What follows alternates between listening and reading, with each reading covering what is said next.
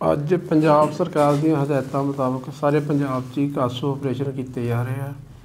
ਇਸ ਲੜੀ ਵਿੱਚ ਮਾਨਯੋਗ ਡੀਜੀਪੀ ਸਾਹਿਬ ਪੰਜਾਬ ਦੇ ਦਿਸ਼ਾ ਨਿਰਦੇਸ਼ਾਂ ਹੇਠ ਮਾਨਯੋਗ ਐਸਐਸਪੀ ਡਾਕਟਰ ਨਾਨਕ ਸਿੰਘ ਜੀ ਦੀ ਅਗਵਾਈ 'ਚ ਮਾਨਸਾ ਜ਼ਿਲ੍ਹੇ 'ਚ ਵੀ ਕਾਸੋ ਆਪਰੇਸ਼ਨ ਕੀਤੇ ਜਾ ਰਹੇ ਆ।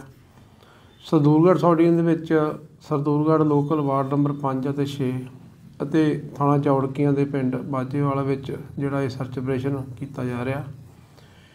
ਅਹ ਥਾਣੇ ਵਿੱਚ ਥਾਣਾ ਝੁਨੀਰ ਦੀ ਫੋਰਸ ਚੌਂਕੀ ਬਹਿਣੀਵਾਲ ਦੀ ਫੋਰਸ ਅਤੇ ਮੇਰੀ ਅਗਵਾਈ ਦੇ ਵਿੱਚ ਯਾਨੀ ਕਿ ਸਰਚ ਕੀਤੀ ਗਈ। ਕਾਫੀ ਸ਼ੱਕੀ ਬੰਦਿਆਂ ਨੂੰ ਰਾਉਂਡ ਅਪ ਕੀਤਾ ਗਿਆ ਅਤੇ ਅਜੇ ਜਿਹੜਾ ਹੈਗਾ ਇਹ ਅਭਿਆਨ ਜਾਰੀ ਆ ਅਤੇ ਆਸ ਆ ਵੀ ਇਹਦੇ ਅੱਜ ਦੀ ਸਰਚ ਆਪਰੇਸ਼ਨ ਦੌਰਾਨ ਅਸੀਂ ਕੋਈ ਨਾ ਕੋਈ ਜ਼ਰੂਰ ਰਿਕਵਰੀ ਵੀ ਕਰਾਂਗੇ।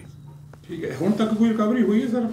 ਨਹੀਂ ਫਿਲਹਾਲ ਇਹ ਜਾਰੀ ਆ ਜੇ ਆਪਾਂ ਕੁਝ ਦੱਸ ਨਹੀਂ ਸਕਦੇ ਉਸ ਤੋਂ ਹੈ। ਬਾਅਦ ਆਪਾਂ ਨੂੰ ਇਹ ਸਰ ਜਿਨ੍ਹਾਂ ਦੇ ਪਹਿਲਾਂ ਐਨਡੀਪੀਐਸ ਦੇ ਪਰਚੇ ਸੀ ਉਹਨਾਂ ਦੇ ਸਰਚ ਕੀਤਾ ਗਿਆ ਜਾਂ ਹੋਰ ਵੀ ਲੋਕ ਸ਼ੱਕੀ ਸੀਗੇ ਜਿਹੜੇ ਉਹਨਾਂ ਦੇ ਕੀਤੇ ਉਹ ਵੀ ਕਰ ਰਹੇ ਆ ਬਾਕੀ ਕੋਈ ਜਿਹੜਾ ਕੋਈ ਸ਼ੱਕੀ ਵਹੀਕਲ ਸ਼ੱਕੀ ਵਿਅਕਤੀ ਮਿਲਦਾ ਹੈਗਾ ਉਹਦੀ ਵੀ ਜਾਣੀ ਕਿ ਹੌਟ ਸਪੌਟ ਦੇ ਵਿੱਚ ਜਿਹੜੀ ਹੈਗੀ ਆ ਉਹ ਸਾਰੇ ਸਰਚ ਕੀਤੀ ਜਾ ਰਹੀ ਆ।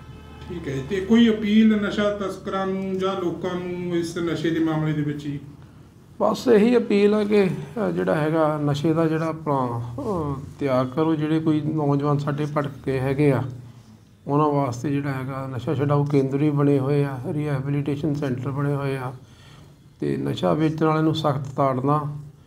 ਵੈਸੇ ਤਾਂ ਕਈ ਮਹੀਨਿਆਂ ਤੋਂ ਜਿਹੜੀ ਮਾਨਸਾ ਪੁਲਿਸ ਇਹ ਬੜੀ ਮੁਸਤੈਦੀ ਦੇ ਨਾਲ ਨਸ਼ਿਆਂ ਦੇ ਖਿਲਾਫ ਆਪਣੀ ਲੜਾਈ ਲੜ ਰਹੀ ਆ ਤੇ ਬਹੁਤ ਹੱਦ ਤੱਕ ਸਾਨੂੰ ਸਫਲਤਾ ਵੀ ਮਿਲੀ ਆ। ਜਿਹੜਾ ਕੁਝ ਰਹਿ ਗਿਆ, ਉਹ ਵੀ ਕੁਝ ਕੁ ਦਿਨਾਂ ਦੇ ਵਿੱਚ ਕਲੀਅਰ ਕਰ ਦਾਂਗੇ, ਸਾਰਾ ਸਾਫ਼ ਕਰ ਦਾਂਗੇ।